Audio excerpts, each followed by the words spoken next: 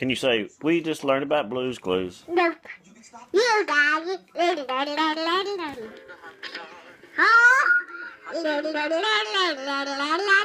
it.